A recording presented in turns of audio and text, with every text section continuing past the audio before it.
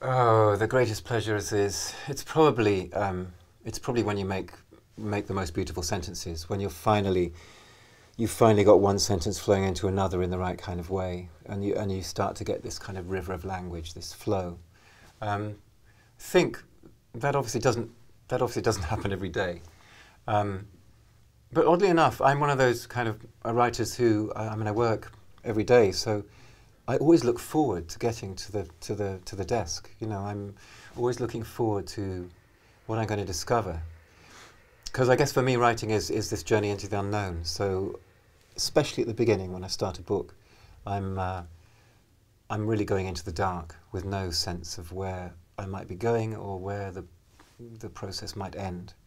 So it's it's exhilarating that feeling, you know, going into the unknown. It's like um, it's like a form of traveling.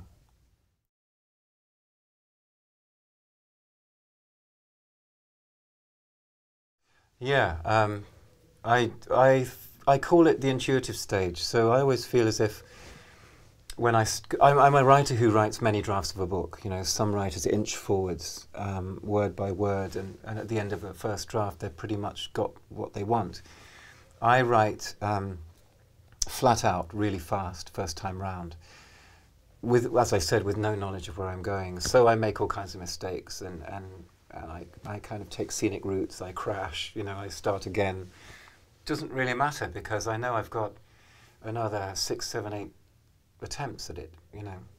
Same time, when I, when I write in that way, I nearly always discover something, something magical, something fascinating, something that's going to interest me for a long time. You know, I, I isolate something. And so when it comes to the second time round, I'm already removing stuff and then working on working on the material that I think is going to prove interesting. Um, so my theory about it, which I've come up with recently, is that I'm actually I start as kind of in a female role, very very intuitive, um, prepared to make all kinds of mistakes, prepared to be very emotional with with what I'm doing. And as the process continues through many many drafts, I become, if you like, more male, become more rational, more logical, um, until by the end, you know, the ninth, tenth draft, I'm, um, I'm the most, I'm hopefully the most ruthless critic of my own work.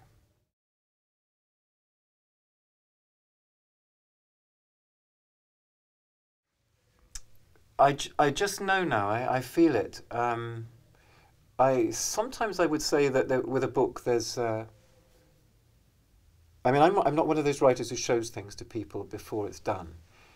But with some books, I'll get to a point after a number of drafts where I think, actually, I can't, I'm sort of feeling I've got, the whole book is a blind spot, you know, and I'm not sure whether I'm seeing it right, and, I, and I've tried to trick myself into viewing it different ways, like I'll write a, I'll write a draft using a different typeface, so all the line breaks are different, you know, I, you try and trick yourself into seeing the thing as it really should be seen.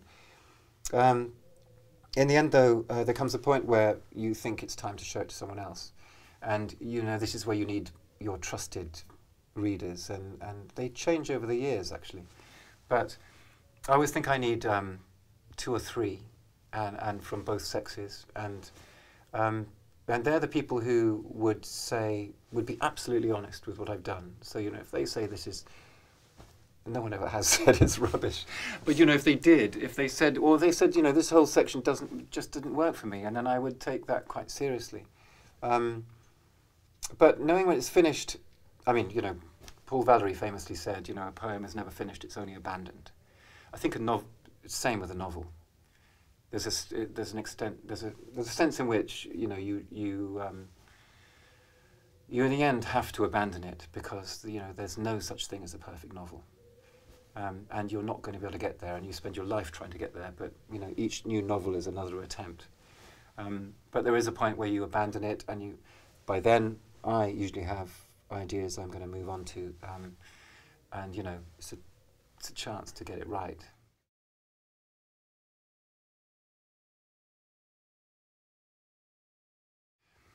Seven days a week, seven hours a day, pretty much sums it up. Um, I need to be in contact with the material every day. I've experimented, of course, as as we all do. You know, I've tried tried writing through the night. I've tried uh, writing in, in, the week and taking weekends off. I've tried all kinds of things, and um, I've just discovered that I need, I just need to be attached to the material, involved with it in some way every day. Even if, and this very rarely happens, but even if I go in, sit down and, and write nothing, you know, a sense in which I'm thinking about it, and I'm in, t- I'm in, I'm in front of it, and um, I'm sort of entering that world, because it's always, uh, it's always a world that you're, you're going into. And while you're in that kind of phase, um, in that seven, you know, when I'm in that kind of seven day a week, seven hour a day thing, uh, really that world's more real than, than the real world. so, no, so someone who comes to the door, you know, the postman is, is kind of like a ghost, you know, whereas someone I'm writing about on the page who is totally fictional is, is, is flesh and blood. I have what I call, I have books that are talismanic. Um, they've changed slightly over the years again, but there are some that remain the same. And these books are always, um, you know, they're always not far away. They're always a few feet away from me, either in my the bookshelf behind me or on the desk. And um, I guess what they do is they they I, I just often I just open them up and read a few page a couple of pages, you know, and they remind me of what's good, of what's possible, and um, and I guess it is a kind of inspiration to read something like that. And it's you know I'm beyond the stage of imitating what I'm reading in that way, but um, sure I have I have those books, and you know at the moment um, what would those books be at the moment? would be Housekeeping by Marilynne Robinson. It would be Light Years by James Salter. Usually I've got something by Jean Rhys or Flannery O'Connor. Um, for a long time it was Michael Ondaatje's Running in the Family, which is, you know, this really uh, short jazz novel that he wrote that most people still don't know about. Um, but that was from the days when he wasn't famous, and I used to, you know, give that book to people all the time, rather in the spirit of World Book Night, you know, and they, they would never have heard of him and they'd read it and they'd love it and then they'd tell me and that was kind of the, the joy of it